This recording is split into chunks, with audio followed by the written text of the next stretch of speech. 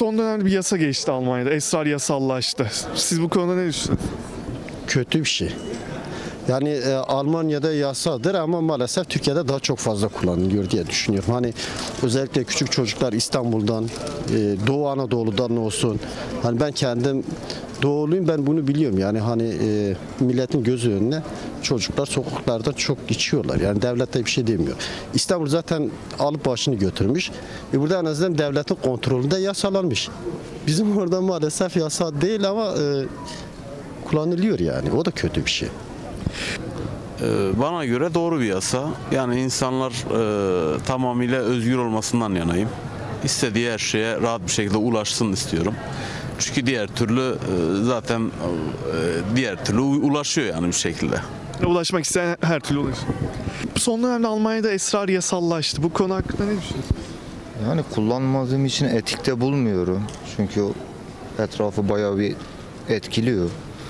İyi bir şey olduğunu düşünmüyorum kendi adıma da tabii kendi bilecekleri bir şey yine de. Yani benim söyleyeceğim bu kadar. Ee, esrarın yasallaşması hakkında ne düşünüyorsunuz? Bence kötü. Neden? Sağlığa zararlı çünkü. Öyle düşünüyorum. Ee, bir yasa geçti. Esrar yasallaştı Almanya'da.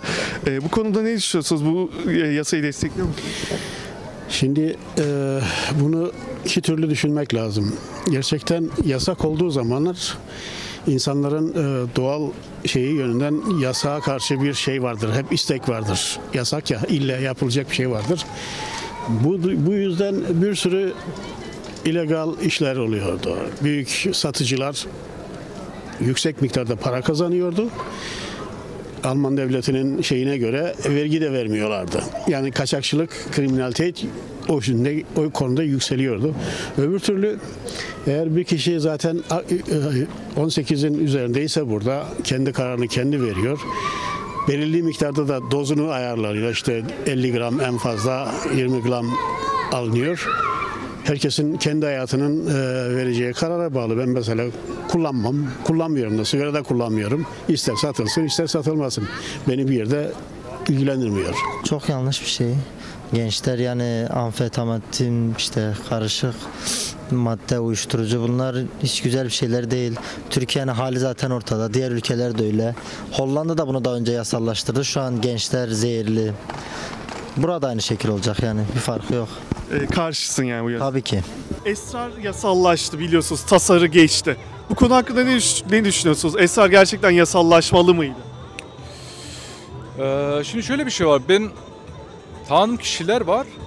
Ee, şey olarak kullanıyorlar yani e, medikal olarak kullananlar var. Ama bazıları tabii e, şey için kullanıyorlar hani kötü yönde kullanıyorlar. Ha, legalleşmesi doğru mu yanlış mı?